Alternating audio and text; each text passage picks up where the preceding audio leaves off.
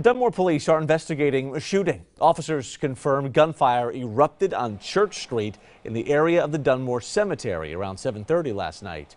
There's no word if anyone was injured.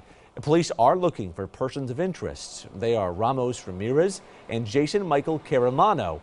Both are considered to be armed and dangerous.